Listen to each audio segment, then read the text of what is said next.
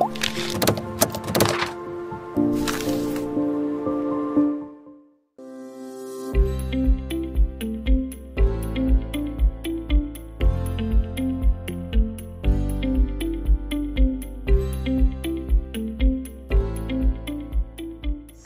ขอสวัสดีทุกท่านนะครับ ก็ผมพีรพงษ์แสงวนางกูลนะครับ ก็เป็นนักวิจัยของศูนย์เทคโนโลยีหลังการเก็บเกี่ยวภาควิชาพืชสวน คณะเกษตรกำแพงแสนนะครับก็สำหรับวันนี้ผมจะมาแนะนำให้ดูในเรื่องของการคัดทุเรียนนะครับว่าถ้าเราเป็นผู้บริโภค เราเป็นผู้ซื้อเราต้องการที่จะไปอ่าซื้อทุเรียนที่ร้านค้าเราอยากได้ทุเรียนแก่ๆไม่อยากเจอทุเรียนอ่อน เราจะใช้วิธีไหนในการดูได้บ้าง เราจะสังเกตจากอะไรได้บ้างนะครับ ลองสังเกตดูนะครับ เวลาที่เราซื้อมาส่วนใหญ่คนทั่วไปเราก็จะเลือก ทุเรียนที่มีภูสมบูรณ์ หรือภูเยอะๆภูสมบูรณ์คือภูใหญ่มเมล็ดเต็มนะครับ เต็มภูอย่างนี้ เราต้องการได้เนื้อที่เยอะสมบูรณ์ เราก็จะเลือกภูที่มันสมบูรณ์นะครับ ก็อย่างลูกนี้ก็จะเป็น 5 ภูเต็มนะครับ อันนี้ก็คุณภาพดีนะครับ แล้วก็เวลาที่เราดูนะครับ สิ่งที่เราจะดูสิ่งแรกก็คือดูที่ก้านผลนะครับอ่าขั้วผลตรงนี้นะครับขั้วจะมีลักษณะหยาบ แข็งนะครับเขาจะมีลักษณะแข็งกะแข็งมากแล้วก็ตรงบริเวณนี้เราเรียกที่โป่งๆตรงนี้นะครับ เราเรียกว่าปลิงของทุเรียน ปลิงของทุเรียนเนี่ยจะมีขนาดใหญ่บวมออกมานะครับ ใหญ่กว่าขั้วผลนะครับ แล้วถ้าเรามือจับดูมันจะสากๆแต่ว่าถ้ามาถึงร้านค้าอาจจะยากหน่อย เพราะว่ามันผ่านมาหลายมือบริเวณเปลือกที่สากๆมันอาจจะหลุดไปบ้างนะครับ แต่ว่าให้สังเกตให้ดีว่าปลิงบริเวณนี้นะครับ มันจะโป่งใหญ่ออก แต่ถ้าเราไปซื้อที่ร้านเราไม่เห็นปิงตรงนี้ บางทีเขาอาจจะตัดออกไปแล้ว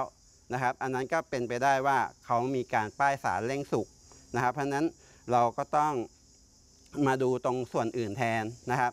ก็อาจจะต้องดูนะครับ ดูหนามหนามของทุเรียนนะครับ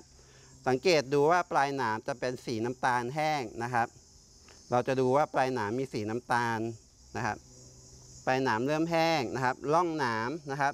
เป็นสีน้ำตาลนะครับร่องหนามก็จะเป็นสีน้ำตาลเกิดขึ้นนะครับ เราก็จะดูตามร่องพวกนี้นะครับ แต่ว่าเปลือกเนี่ยยังคงสดใสนะครับ มีร่านบ้างแห้งบ้างนะครับ แล้วลักษณะหนามนะครับ ถ้าเราสังเกตลักษณะหนามหนามเนี่ยมันจะแผ่ฐานออกนะครับ แผ่ฐานออกแล้วก็ลักษณะเหมือนหนามปลาปลากระเป้านะครับ แล้วก็ปลายก็จะถ้าเป็นแนวสาแหลกตรงนี้ ปลายสองด้านเขาจะแยกออกจากกัน นะครับปลายแยกออกจากกันนี่คือแนวสาแหลกหรือว่าแนวที่ทุเรียนจะปริออกเวลาที่เราผ่านะครับหนามเขาจะกางออกจากกัน เพราะนั้นโดยสรุปหนึ่งให้เราสังเกตที่ขั้วผลนะครับขั้วผลใหญ่แข็งแรงนะครับ อาจจะขึ้นกับขนาดนะครับ แล้วก็ปริงปริงตรงนี้นะครับเขาจะบวมนะครับ ปริงหรือข้อตรงนี้เขาจะบวมออกกลางใหญ่นะครับ แล้วก็ มีลักษณะสากมือถ้าเราไปจับนะครับแล้วก็ดูลักษณะของหนามนะครับ ที่บอกเมื่อกี้คือฐานหนามกลางออก ปลายหนามแห้ง ปลายหนามสีน้ำตาลนะครับ แล้วก็ร่องหนามก็จะเป็นสีน้ำตาลด้วยนะครับ ก็ดูร่องหนามนะครับ แล้วก็ถ้าเราจะฟังเสียงเสียงเขาจะเวลาที่เคาะจะดังปุปุๆนะครับ แต่ว่าถ้าเราเป็นผู้บริโภคเนี่ยเราไปซื้อที่ร้านเสียงนั้นอาจจะใช้กับการดูแก่อ่อนไม่ได้ จะบอกได้แค่ว่าเป็นทุเรียนที่เริ่มสุกแล้ว เพราะแต่ว่าทุเรียนอ่อนก็ทำให้สุกได้นะครับ เพราะฉะนั้นการฟังเสียงที่ร้านจะบอกได้แค่ว่าเป็นทุเรียนสุกหรือดิบอยู่เท่านั้นเองนะครับ อย่างกรณีนี้นะครับลองเคาะดูนะครับ อันนี้คือเริ่มสุกแล้วนะครับนะครับ ก็มีลักษณะที่เริ่มสุกนะครับ อันนี้คือทุเรียนแก่ด้วยแล้วก็เริ่มสุกด้วยนะครับ ก็ถือว่าเป็นทุเรียนที่ใช้ได้มีคุณภาพดีนะครับ ในกรณีที่เราจะดูว่าทุเรียนเราพร้อมบริโภคหรือยังทุเรียนที่เราซื้อถ้าหากว่าเราจะมาแกะเองที่บ้านนะครับ สิ่งหนึ่งที่เราจะดูนะครับ นอกจากเคาะฟังเสียง แล้วว่าเสียงเขาปุปุนะครับ นอกจากเคาะฟังเสียงแล้ว การเคาะเนี่ยพยายามเคาะให้ให้ทั่วทั้งทั้งลูกนะครับ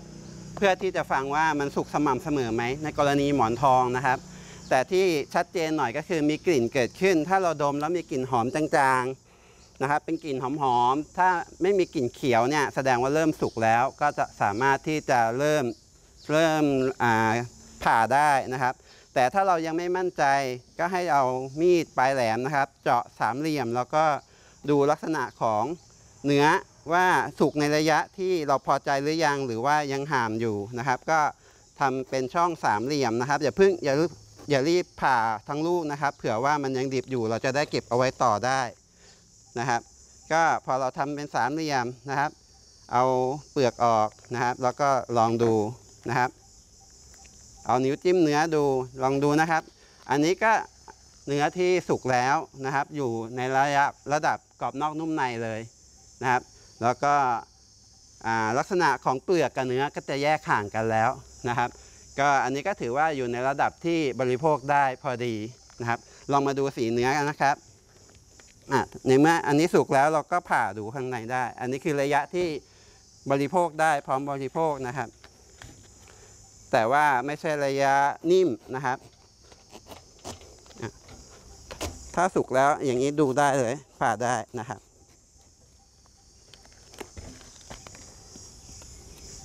เดี๋ยวจะให้ดูสีเนื้อนะครับว่าเป็นยังไงบ้าง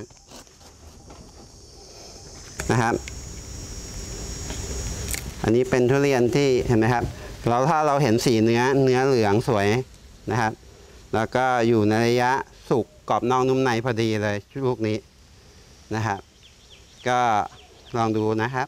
ก็โดยสรุปนะครับ ถ้าเราอยากจะไปซื้อทุเรียนทานนะครับสำหรับผู้บริโภค ต้องการจะไปเลือกซื้อทุเรียนทาน เราให้สังเกตนะครับ ผม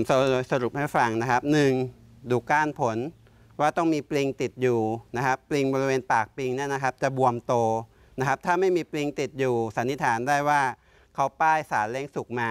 ถามว่าบริโภคได้ไหมปลอดภัยอยู่นะครับ บริโภคได้แต่อาจจะเจอทุเรียนที่ไม่แก่นะครับ ก็ให้มาดูต่อว่าก้านแข็งปลิงตรงนี้นะครับ ปากปลิงสุบวมนะครับ แล้วก็มาดูที่หนามนะครับ หนามทุเรียนปลายหนามแห้งสีน้ำตาลนะครับ แล้วก็ฐานหนามแผ่กว้างออกร่องหนามสีน้ำตาลนะครับอ,อันนี้คือทุเรียนที่แก่เต็มที่นะครับอยู่ในระยะที่แก่อร่อยเมื่อสุกจะอร่อยนะครับ การเคาะฟังเสียงนะครับที่แม่ที่แม่ค้าเขาเคาะให้เราฟังเนี่ยไม่สามารถบ่งบอกความแก่ในที่ตลาดได้ บอกได้แค่ว่าเป็นทุเรียนสุกหรือดิบเท่านั้นไม่ใช่ทุเรียนที่แก่หรืออ่อนนะครับ บอกได้แค่ว่าสุกหรือดิบเท่านั้น ถ้าเคาะแล้วฟังเสียงปุปุ นะครับ อันนี้คือทุเรียนสุกพร้อมบริโภคได้ เราก็ให้แม่ค้าเขาเจาะรูสามเหลี่ยมดูก่อนนะครับเดี๋ยวพึ่งท้ายเขาผ่า เจาะรูสามเหลี่ยมแล้วเอานิ้วเจาะนิ้วจิ้มดูนะครับว่าเนื้อเขาเนี่ยนิ่มแล้วหรือยังอยู่ในระยะที่เราพอใจหรือไม่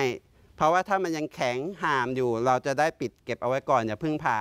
นะครับ อาจจะวันหรือ 2 วันก็สามารถรับประทานได้ แต่ถ้ากดแล้วมันสุก มันเริ่มนิ่มในระยะระดับที่เราพอใจก็ให้เขาแกะให้ได้เลยนะครับ ก็จะได้ไม่มีปัญหากันนะครับ ก็สำหรับคำถามถ้าหากว่าท่านมีคำถามหรือสนใจที่จะ